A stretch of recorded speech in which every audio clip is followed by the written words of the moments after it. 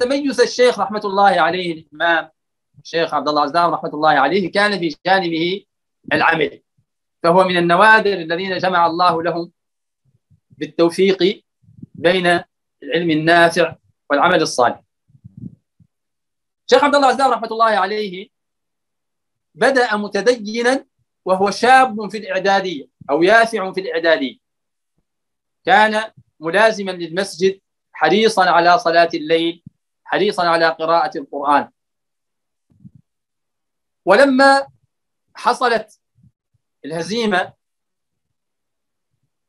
في سنة 1967 ميلادية انتقل إلى الأردن. وهنالك شارك في العمليات التي قامت بها كتائب المجاهدين التي شكلتها حركة الإخوان المسلمين هناك. وشارك في عمليات كان لها تأثير عظيم في صفوف العدو ونكاية شديدة وأشرف على بعض هذه العمليات آه، من موقع القيادة. ولما كانت عمليات أيلول الأسود سنة 1970 وحصل ما حصل من موقف من السلطات الأردنية تجاه الحركات الفلسطينية وأغلقت الحدود آه، خرج الشيخ رحمة الله عليه